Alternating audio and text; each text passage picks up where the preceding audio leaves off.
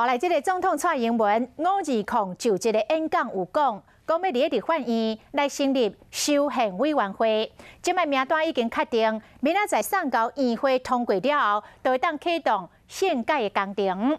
其中废除考试院甲监察院将做焦点。讲安尼哦，一年当会当省将近十亿的人事费用。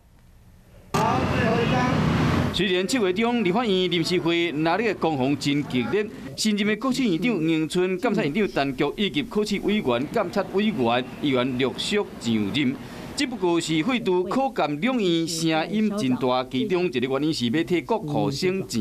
依照监察院八一年度单位预算案税出预算九亿五千七百十六万，人事费用就占七亿空一百七十八万。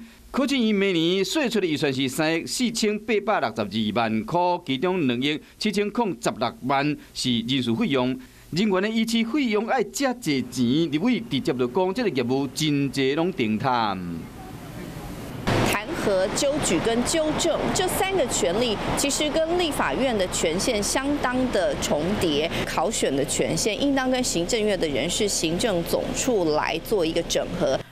随着立法院开机，修宪委员会名单就等议会通过，马上就要启动宪改工程。民进党有真侪的委员分别提出废考监的修宪提案，国民党比较起来较关心民生的议题。还在忙美猪、美牛相关的议题，所以目前党内党团还没有具体的一个讨论。总统蔡英文伫五日空就职演说的时，已经宣誓要启动修宪。表演也是完无多好坐，立法院恐惊又阁出现新一波的拉力对抗。